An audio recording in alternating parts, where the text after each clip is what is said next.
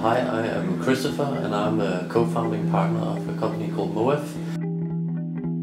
As I see it, design is important and especially if you look into uh, the way designers work, the actual need for the product and how the product should interact with the, with the customer or, or the user. That's, that's a skill that's very important in order to make good product.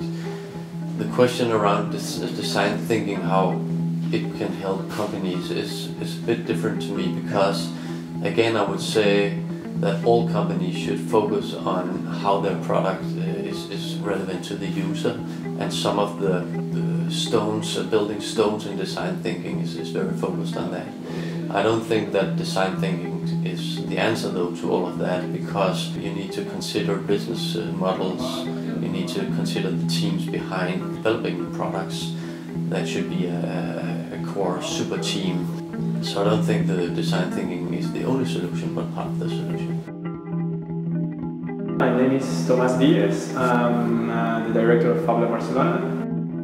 The common discussions that I see around uh, this, you know, the maker movement or, or Fab Labs is, uh, is that the need for design, the need for designing what we produce. When you have the access to make anything, anywhere, in any time, there are you know unintended consequences that we could make something that is you not needed or basically is not really well thought. I think there is a complementary role here between design and making that yes, if we can match them as much as as much as we can, that would be perfect.